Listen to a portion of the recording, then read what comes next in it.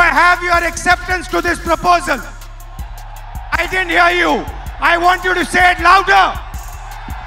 No, louder.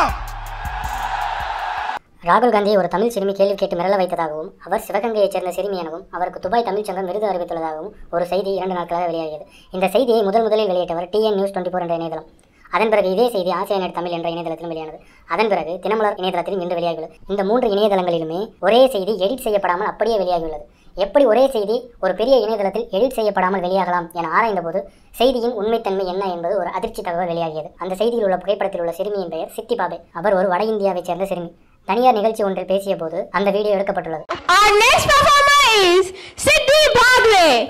What's your topic? Save girl. Save girl child. Good evening, one and all present here.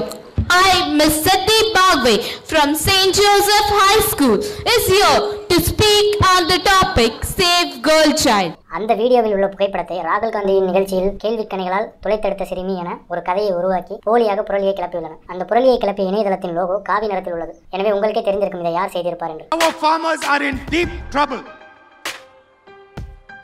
They are struggling and they cannot see the future. So we have to transform Indian agriculture the same way we carried out a green revolution.